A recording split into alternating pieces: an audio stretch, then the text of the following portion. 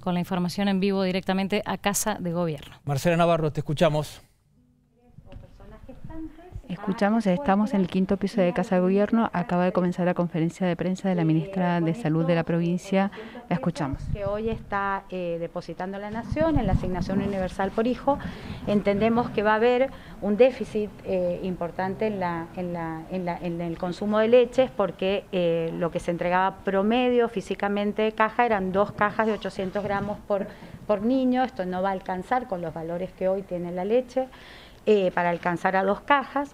Y por otro lado. solamente se va a poder adquirir una, la mitad. Y eh, una, y sí, porque el valor hoy de la leche en el mercado está cerca de los 500 eh, y entre 600 pesos depende de la marca de la leche. ¿Cómo lo cubre la provincia, ministra? Esto, esto siempre, la entrega de leche ha sido una política nacional, la entrega de, de las leches. Después ahora tendremos que evaluar qué va a pasar porque nunca ha sido una política provincial. Esto es un, ajuste, por decirlo de alguna manera, de la nación hacia las cuestiones que distribuye eh, fundamentalmente con los alimentos hacia la provincia. ¿Esto, también, esto es para toda la provincia y también una cosa más quería comentarles que no solo vemos esto de que va a haber un ajuste en la cantidad de leche que la nación entrega a, las mamás y a los niños, sino que también desde el punto de vista sanitario lo entendemos como inoportuno porque siempre la entrega de leche fue un momento de captación y de oportunidad de que las mamás acerquen sus chicos,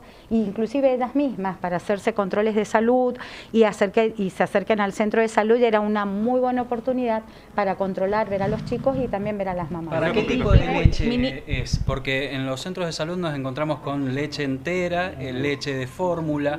Eh, ¿Qué va a suceder con eh, los chicos, por ejemplo, que tienen riesgo nutricional? ¿Qué es lo que está sucediendo? Estamos en vivo para Canal 9. Nosotros el tema de los riesgos de, para las leches con, de fórmula con riesgo nutricional también los completamos, la, Nación va a mandar y también completamos nosotros.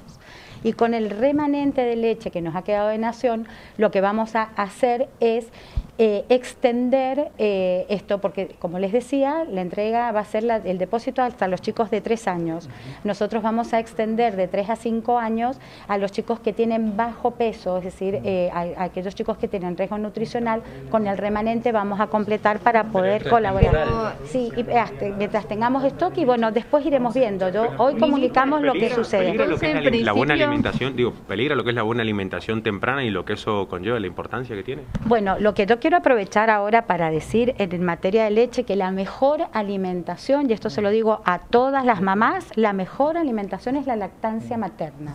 Esto es sin duda poder extender hasta la mayor cantidad posible el año y un poco más del año, la lactancia materna es lo más importante.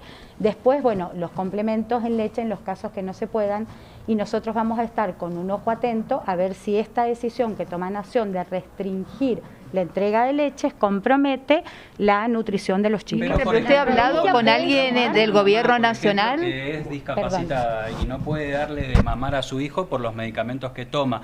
Dice que consume hasta seis latas por, por mes y que las latas están de más de 1.400 pesos. ¿Qué es lo que se le puede decir eh, urgente a esta gente? Bueno, nosotros las leches que son de las fórmulas especiales compramos, la provincia compra, que estas son las fórmulas especiales para los chicos, compra y bueno, vamos a seguir nosotros con nuestra estrategia de complemento que estuvo siempre, que hizo la provincia y la inversión que hizo la provincia para completar la entrega de leche de nación. Pero yo quiero que quede claro y que le quede claro a todos que esta, la provisión de leche es una política nacional que se entrega a todas las provincias de la República Argentina con ese, con ese criterio y que hoy se ha dejado de entregar la caja de leche. Ministro, ¿usted ha hecho algún reclamo a nivel nacional? sí, he hecho el reclamo, no solo he hecho el reclamo, he manifestado mi opinión en la que no estoy de acuerdo por estos argumentos que les he vertido. Primero porque no, no sé si va a ser suficiente para, para, la leche, para la alimentación de los chicos y en segundo lugar por esta justificación sanitaria tan importante y los argumentos esgrimidos por la Nación en, en, en, en conversaciones es, tiene que ver con eh, el empoderamiento, esto es lo, que expresa la Nación, ¿no? de las personas para poder ir y hacer el ejercicio, el derecho del consumidor y ir a adquirir la, la leche y que por otro lado entienden cosa que eh, yo no lo estaría viendo de esa manera, que le llegaría a las personas con asignación universal, que serían los, las personas que más lo necesitan, le estaría llegando efectivamente el día que se compre la leche. que usted está denunciando, el Estado mendocino toma política de que no va a llegar en perjuicio a la gente? Eh, eh, lo que vamos a ver es eso, es eso. Vamos a ver cuánto, cómo llega, cómo se compra y vamos a tener que hacer, nos obliga a nosotros a redoblar esfuerzo y hacer una estrategia de gestión sanitaria para ver si los chicos están alcanzando a consumir la leche que ¿Ustedes podrían entregar, por ejemplo... Y la ANSES va a cumplir el rol de, informar a las personas que tienen asignación universal. ¿Una tipo eh, subsiste con 800 gramos de leche por mes? 800 pesos. Es 800 pesos por, eh, por, caja. Por, por niño, claro, por niño que, que, que tiene hasta tres años, ¿no?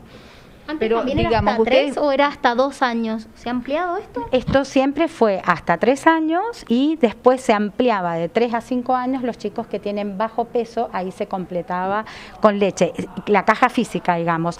Hoy el depósito de la, de la, del, del, dinero en la asignación universal por hijo es hasta chicos de tres años, quedan descubiertos de tres a cinco y es donde nosotros vamos a seguir cubriendo y, y este el, el stock que nos queda lo vamos a destinar a ese grupo de chicos que nos preocupa mucho. Pero ministra, ustedes podrían, podrían por ejemplo...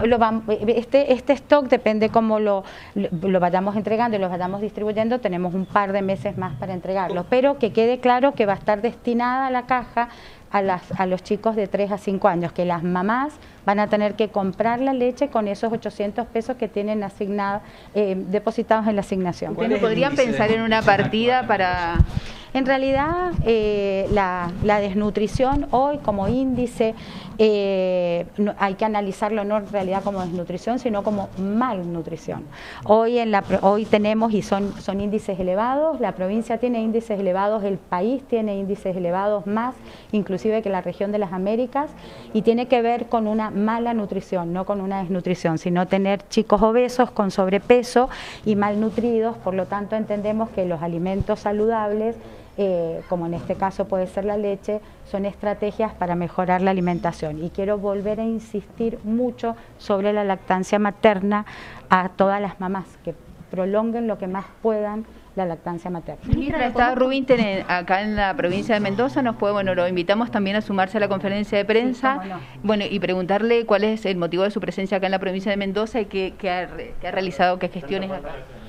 Nosotros cuando en la gestión, digamos, donde yo fui ministro, trabajamos ya muchísimo con la provincia de Mendoza en todo lo que fue la ampliación de la estrategia de cobertura universal, de salud universal, es decir, mejorar las condiciones de cobertura de toda la población argentina, independientemente de si son del sistema público, seguridad social o el sistema privado. Y un poco lo que venimos trabajando, con lo que trabajamos con Mendoza, fue justamente eh, eh, ampliar la cobertura tanto en los aspectos del mejoramiento del modelo de atención médica, de eh, toda la transformación digital, del modelo de cobertura prestacional para mejorar la prevención y el control de las enfermedades crónicas. Y todo eso lamentablemente fue, digamos, en buena medida desarticulado al principio de esta gestión de este gobierno y por supuesto después la pandemia terminó por desarmar absolutamente todas las estrategias a todo nivel un poco en esta relación. Mendoza fue pionera en el desarrollo de la estrategia de salud universal en la Argentina. Este, con resultados este, verdaderamente muy importantes y fundamentales y un poco lo que estamos haciendo ahora es retomar la agenda yo desde este, una institución académica que es el Instituto de Efectividad Clínica y Sanitaria para poder retomar esa agenda y presentar, seguir, digamos, en la senda de ampliación de la cobertura, de mejoramiento de la calidad de atención, sobre todo con las transformaciones que hoy, en la pospandemia, necesita el sistema de salud este, y fundamentalmente porque Mendoza tiene no solo recursos humanos, sino también recursos técnicos inmensos para poder seguir liderando esta estrategia en todo el país. Rubín, ¿usted coincide o rechaza que estos recortes en salud sean eh, consecuencia de eh, la herencia recibida por este gobierno? de los recortes que de este gobierno porque ya uno no sabe no este mira lo que decía recién este la, digamos a la María Nadal tiene mucho que ver con este que la, entrega de leche fue siempre una estrategia de nación y una estrategia muy este no solamente este muy rica muy importante muy gratificante también, porque realmente resolvíamos un problema serio, digamos. El hecho de que, digamos, la decisión que ha tomado el Gobierno Nacional, el Ministerio de Salud, no solo es equivocada, sino que es inoportuna. Es equivocada porque, como decía la licenciada Nadal, en realidad la, digamos, justamente la entrega de leche es un factor fundamental para acercar a las madres a los centros de salud. Es muy importante y para, y para capturar, entre comillas, la atención de los chicos, por un lado, y las embarazadas. Por el otro lado, en un escenario inflacionario como el que estamos viviendo, tener, digamos, un valor fijo como el que está, digamos, este, puesto en la asignación universal por hijo es un error es un error porque se va a desactualizar rápido. Imaginemos que estamos con tasas de inflación muy, muy altas y la verdad es que cuánto va a ser esto que no se actualizan, porque en realidad no se vienen actualizando, con lo cual va a ser un problema cada vez mayor. Yo creo que lo que hay que asegurar es que el Ministerio de Salud cumpla con su función esencial. Es una de las funciones esenciales de la salud pública que es entregar en tiempo y forma, digamos, este, elementos como este, las cajas de leche que mejoran la nutrición, claramente. ¿Cómo se entiende entonces esta decisión? No sé, la verdad que habría que preguntar a la ministra Bisot. Rubin, ¿usted cree que esto es un elemento junto a otros que muestra que también en salud no hay políticas de Estado, como sucede, por ejemplo, con la economía, señor? En salud no hay ninguna política de Estado, lo que digamos, este, obviamente uno tiene que reconocer que el gobierno nacional, como todos los gobiernos provinciales, fueron atravesados por la pandemia y esto desarmó y desarticuló todas las estrategias sanitarias, pero esta gestión nunca tuvo una política sanitaria clara y estas cosas también lo demuestran. ¿Cómo ve el actual sistema de salud de Mendoza? Yo soy un eh, un fanático, un enamorado de Mendoza. Realmente Mendoza fue la provincia con la cual nosotros trabajamos este, no solo mejor, sino más efectivamente en la gestión, porque básicamente todo el desarrollo de la política más ambiciosa que tuvo la gestión donde tuve el honor de ser ministro fue la ampliación de la cobertura universal. Y Mendoza fue la provincia que más efectivamente trabajó con esto, inclusive desde la desde la ministra Claudia Najul, cuando fue ministra de, Salud, hasta este Eli y por supuesto Ana María, que nos conocemos de hace muchísimos años. ¿Cómo cree que va a pasar con el barbijo? Ah, bueno, cambió rápidamente. Preguntando qué va a pasar con el barbijo, si se va a dejar de usar. Bueno, el barbijo, eh, ustedes saben que nosotros el barbijo en los lugares abiertos eh, no, no, es, no, es, obligatorio su uso, solo en los lugares cerrados. Nosotros vamos a promover, los estamos evaluando, estamos de cara al invierno, hay un aumento de enfermedades respiratorias, no solo COVID, sino hay mucha gripe, hay circulación. Siempre vamos a promover el uso del barbijo en, en, el nivel personal, de protección personal, fundamentalmente en aquellos grupos vulnerables en donde sabemos que constituye una barrera real para no contagiar la enfermedad o contagiarse. O eh, estamos evaluando la posibilidad de retirarlo teniendo en cuenta la situación epidemiológica, vuelvo a decir, de muchos casos de gripe en la provincia, si es oportuno retirarlo hoy en los espacios cerrados. ¿Cuándo sería esto? ¿Para esto lo, esto lo, lo, vamos, lo estamos, lo hemos, lo estamos hablando con el gobernador y lo tendremos ¿Se prontamente. definición de la nación antes para tomar esta decisión? Eh, puede ser, ahí van a haber cambios a nivel nacional con relación a la gestión de la pandemia. En muy pronto eh, pueden, pueden haber y van van a haber anuncios con relación a cómo se va a hacer desde el diagnóstico hasta la vigilancia del COVID. Es muy probable que en los próximos días se anuncie que ya el diagnóstico caso por caso de COVID, como lo estamos haciendo, no se haga más. Existan centros centinelas o vigilantes, es decir, lugares, establecimientos de salud que sean los encargados de hacer las tomas de muestras de las personas que tengan síntomas respiratorios. Estamos escuchando a la ministra Ana María Nadal, está hablando justamente del tema de la pandemia, de cómo se hace la mm. evaluación en este último tiempo, de cómo se va a seguir haciendo el registro, a la espera, por supuesto, de una decisión que va a tomar el Ministerio de Salud a nivel nacional. Y en Mendoza, en el tema del uso de los rijos, se está evaluando retirarlo, pero dice la provincia piensa promoverlo al menos a modo individual. Lo define la ministra con el gobernador en los próximos días, en las próximas horas. Pausa. La